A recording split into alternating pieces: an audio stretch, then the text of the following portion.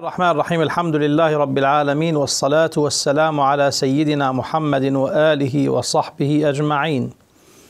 اللهم علمنا ما ينفعنا وانفعنا بما علمتنا وزدنا علما وألحقنا بعبادك الصالحين.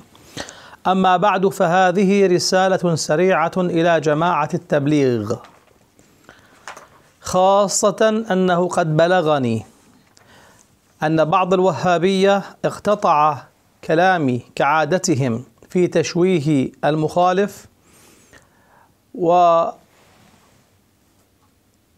أوهم أني أني ذممت جماعة التبليغ وحوله إلى مقطع قصير فصار ينشره خاصة بعد أن رأى فضلاء الجماعة قد أقبلوا على تصحيح اعتقادهم والعود إلى منهج أهل السنة والجماعة وهذا شيء حسن. أن يرجع الناس أفواجا ولا سيما إذا كانوا من الدعاة. بالنسبة للوهابية هذه طريقتهم وهذه عادتهم. لن أقف عندهم كثيرا. خلاصة ما أقول لجماعة التبليغ أن تبليغهم لدعوة الله سبحانه وتعالى هذا هو قيام بالواجب الكفائي الذي هو فرض على الأمة. ولتكن منكم أمة. وثانيا لا أحفظ لا أحمل لأولئك الناس إلا الاحترام والود. هذا أمر ثاني.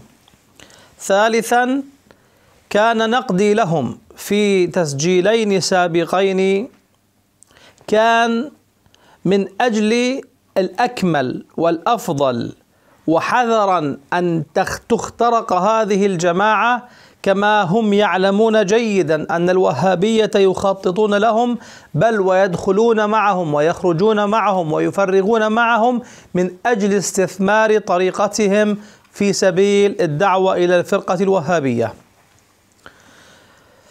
فكلامي لأهل التبليغ اولا أن يحذروا من كان مخالفا لمعتقد أهل السنة والجماعة. ثانيا أن يكونوا على اعتقاد جماعة التبليغ المؤسسين. المؤسسين ليس ما طرأ عليها بعد ذلك. المؤسسون لجماعة التبليغ هم حنفية ما تريديه حن... آه من أهل التصوف. ف وهم يعلمون هذا جيدا. كل المؤسسين لجماعة التبليغ من أهل السنة والجماعة الحنفية الماتريدية أهل التصوف.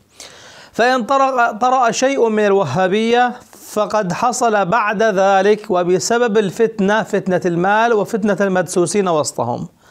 لذلك أكرر احترامي لهم وأكرر أن عليهم الحذر الشديد وعليهم أن يستمروا. الحقيقة يعني أثلج صدري حينما أرسل لي أحد الفضلاء من جماعة التبليغ مجموعة كبيرة ربما تقرب من ثلاثين شخصا يستمعون معتقد أهل السنة والجماعة الأشعرية ويتابعون بعناية. فرحت بهذا فرحا عظيما لأن الوهابي حينما يأتي بدل أن يدعو الناس إلى الله سبحانه وتعالى يحاول أن يجعلهم اولا في التجسيم. يبدأ معهم قضية نسبة المكان لله سبحانه وتعالى. ويأتون بحديث ويدعون الشريعة كاملة. هذه عادة الوهابية لا يتركونها. لذلك أرجو أن تتكاتف وتتكاثف جهود إخواننا من جماعة التبليغ إلى تصفية الاعتقاد. وتصفية الاعتقاد لن تتعبهم كثيرا بل ستريحهم لأنهم سيسيرون على منهج المؤسسين للجماعة. وأكرر ما سبق أن ذكرته لهم من وجوب الاهتمام بالعلم.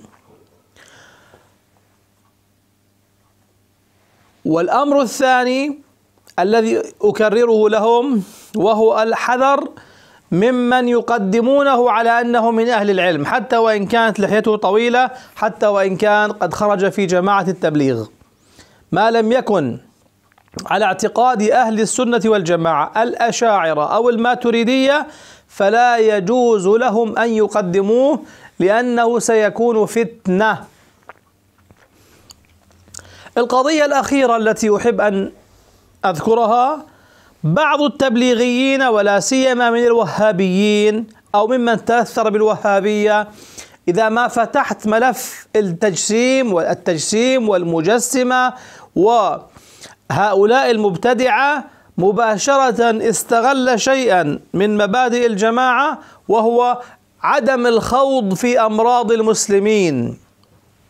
عدم الخوض في أمراض المسلمين. والله يا أخي إذا كانت أمراض المسلمين هذه من التجسيم وتنقيص قدر النبي عليه الصلاة والسلام وتبديع المسلمين وتكفير المسلمين إذا كانت في بلاد الواقواق في جزيرة منعزلة عند ذلك أقول لك لا تتكلم في أمراض المسلمين.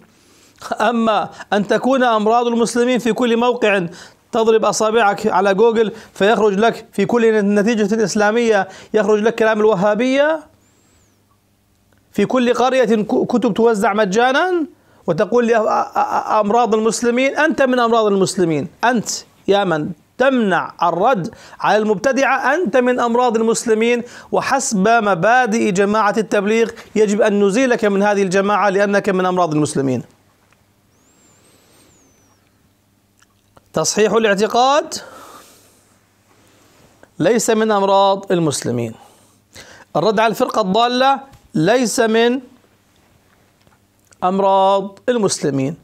فأرجو الحذر الحذر من هؤلاء الجماعة من هؤلاء الناس الذين اندسوا في جماعة التبليغ ونحن نعرفهم جيدا. نحن نميز جيدا بين هذا وهذا. يعني جماعة التبليغ يغلب عليهم الإيمانيات يغلب عليهم التوكل على الله سبحانه وتعالى عندهم طيبة قلوب يحبون الناس جميعا يدعون إلى الله سبحانه وتعالى يبذلون من جيوبهم لا يرتزقون من أحد. كل هذه فضائل جميلة وحسنة وهي التي كتبت لهم ذلك الانتشار الكبير. نحن ماذا نريد من كل الناس؟ ليس فقط من جماعة التبليغ. رسالتي هذه ليست لجماعة التبليغ. جماعة التبليغ شريحة من شرائح المسلمين. رسالتي إلى أبناء الأشعرية أنفسهم. إلى أبناء الماتريدية إلى أبناء الحنفية إلى السلفيين هؤلاء الذين شردوا عن طريق أهل السنة والجماعة. رسالة إلى الجميع عودوا إلى رشدكم. توهمتم أن مذهب ابن تيمية هو مذهب السلف وهذا خطأ كبير على فكرة وهناك من المتابعين لي يعني لا أريد أن أذكر أسماء من تبليغ مصر متابعين متابعون لكل دروسي ومن كبارهم ويقولون الحمد لله رب العالمين نحن استطعنا تنقية القطاع الذي نعمل القطاع الذي نعمل فيه من كل مجسم لله سبحانه وتعالى. ممن نعرفهم جيدا. قال كل من عندنا الآن قال هؤلاء كانوا ثقلا علينا ورطونا مع السلطات ورطونا مع كل الناس. التبليغ ما كان متطرفا في يوم من الأيام، التبليغ انسان داعي إلى الله سبحانه وتعالى، فهذا الاقتناص وقضية ويل للمصلين وأخذ جزء من كلامي. ومن أجل يعني آه، تحذير جماعة التبليغ مني لا هم أخوان هم إخواننا وأحبابنا والحقيقة يعني لو وقتي يسمح ربما أخرج معهم يعني في آه، في آه، أحد في خروج ما يعني في يوم من الأيام ربما ليس عندي مشكلة في هذا الأمر. نحن نحبهم وهم يحبوننا ولكن الدخيل هذا الذي جاء بالمظاهر ويحاول أن يشوش على جماعة التبليغ. هذا هو من أمراض المسلمين التي يجب أن تزال. تحيتي لهم مرة أخرى وأطلب منهم الدعاء والتوجه إلى الله سبحانه وتعالى أن يثمر الله جهودنا وأن يحفظنا الله تعالى من كل كائد. وآخر دعوانا الحمد لله رب العالمين وصلى الله على سيدنا محمد وآله وصحبه أجمعين. ولا حول ولا قوة إلا بالله العلي العظيم.